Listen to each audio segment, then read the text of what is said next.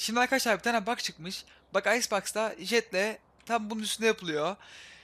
Şimdi arkadaşlar hemen ben size yapılışını göstereyim. Çok garip bir tane bak. İnşallah yakın zamanda fix yer.